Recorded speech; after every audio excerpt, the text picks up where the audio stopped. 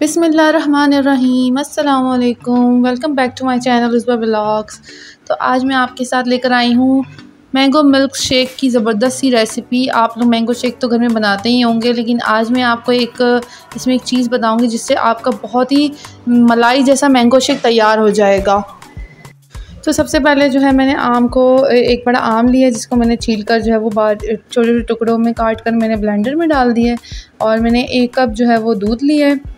और मैंने जो है वो चीनी ली है दो चम्मच, क्योंकि मैंने कम ही चीनी ली है। उसकी वजह यह है कि जो मैंगो है ना, वो ऑलरेडी माशाल्लाह से बहुत ही मीठा था। और एक चम्मच मैंने जो है इसमें डाला है दही, जिससे आपका जो आज मैंगो शेक है, वो बहुत ही मलाई जैसा तैयार होगा, बहुत ही ज़बरदस्त इसका टेस्ट हो जाएगा। तो ब्लेंड कर दिया है देखिए थोड़ी सी बर्फ़ डाली गिलास में ताकि जो है वो ठंडा ठंडा पीने का मज़ा आए। तो ये देखें, ज़बरदस्त सा मलाई जैसा जो है वो हमारा मैंगो शेक तैयार हो गया और यकीन करें, गर्मियों के लिए बहुत अच्छा है, ठंडक, बहुत मज़ा आता है पी के और आपका खून लेवल जो है वो ये बढ़ाता है।